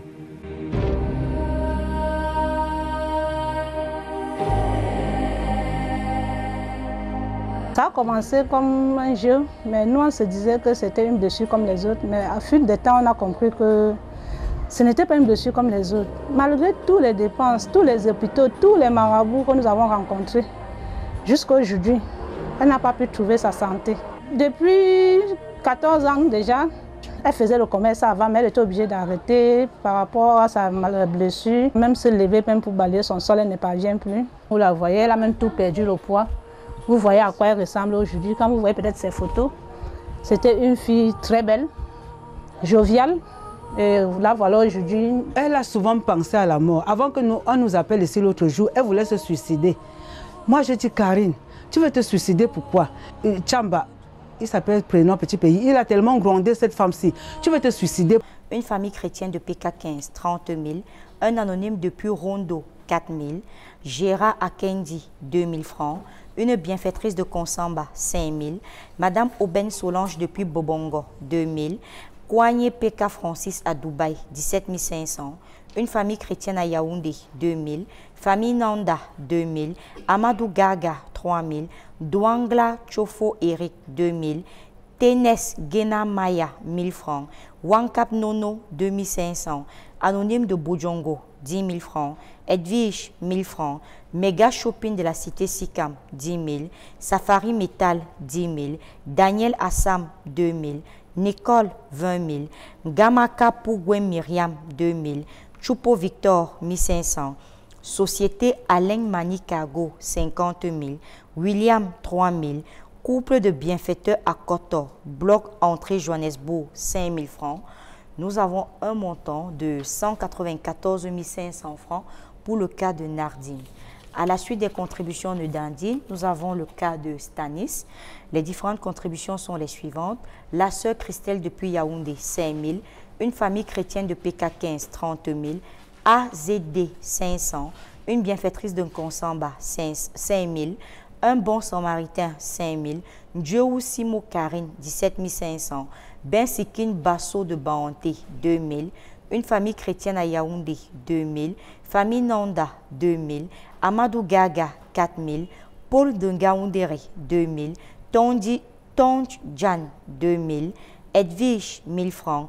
Méga Shopping de la cité Sikam, 5 000. Safari Metal, 10 000.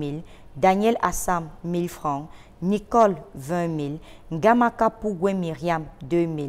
Choupo Victor, 2 000. Société Alain Manicago, 50 000. William, 3 000. Chundu Justin Denis, 1000 francs. Nous avons un montant de 171 000 francs CFA pour le cas de Stanis. À la suite de Stanis, nous avons également le cas du jeune Dimitri. Les différentes contributions sont les suivantes. La sœur Christelle depuis Yaoundé, 10 000. AZD, 500. Une famille chrétienne de PK15, 30 000. Une bienfaitrice de Consamba, 5 000. Nana Lekwe Olivia, 17 000. Une famille chrétienne à Yaoundé, 2 000. Famille Nanda, 2 000. Amadou Gaga, 3 000. Douanga Chofo Eric, 2 000. Paul de Ngaoundéré, 2 000. Tenes Nguna Maya, 1000 francs. Batuwin Kinsley Ambe, 1000 francs. Edwige, 1000 francs. Une donatrice de Bonabéry, 5 000. Mega Shopping de la cité Sikam, 10 000. Safari Metal, 10 000. Daniel Assam, 2 000. Nicole, 20 000. Ngamakwe Pougwe Myriam, 2 000. Choupo Victor, 1500. Société Alain Manicago, 50 000. William, 4 000. Chundu Justin Denis, 1000 francs. Un enfant de Dieu, 5 000 francs. Nous avons un montant de 181 000 francs pour le cas de Dimitri. Alors, voilà pour ce qui est des enfants, des personnes victimes de plaies inguérissables. Nous avons également des cas euh, des enfants qui souffrent de maladies neurologiques. Tout à euh, fait. Qui sont également passés sur ce plateau. Tout à fait. La suite des contributions pour les enfants atteints des problèmes neurologiques, alors, nous allons parler de, du cas de bébé Chris. Famille Ngake Hervé, 2500. Luc Moutet de Bafoussam, 6000. Une famille chrétienne de PK15, 30 000. Viviane, 75 000. Chouan de Merveille, 5 000. Enfants de cœur, paroisse Sainte-Trinité de Bilonguet, effort de Carême, 17 500. Famille Gat en Djombe, 3 000. Madame Valérie, 2 000. Madame Yvette, 5 000. Une chrétienne de la cité Sigue des Palmiers, paroisse Saint-Marc, 2500. Léa, 2500. Une famille de Chicago, 25 000. Famille Zoku, 40 000. Une famille chrétienne de New Dedo, 2 000 francs. Landry de Garoua, 5 000 francs. Un personnel de l'hôpital district de Maga Extrême Nord, 2 000 francs. Nous avons un montant pour le compte de bébé Christ de 505 350 francs CFA. À la suite des contributions de bébé Christ, nous avons également les contributions de bébé Yves.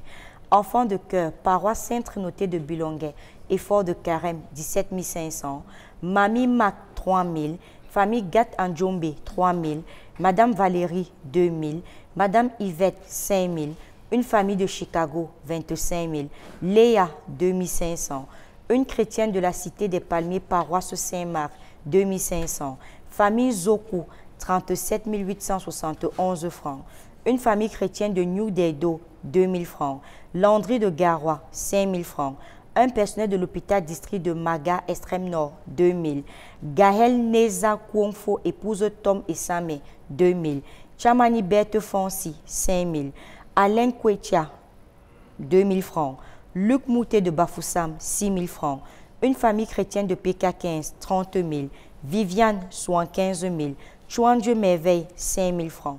Nous avons pour le compte de bébé Yves un montant de 360 871 francs CFA. Nous ne serons sortis de cette émission, Flavien, sans remercier nos différents bienfaiteurs du côté de Congo. Nous disons déjà un grand merci aux amis solidaires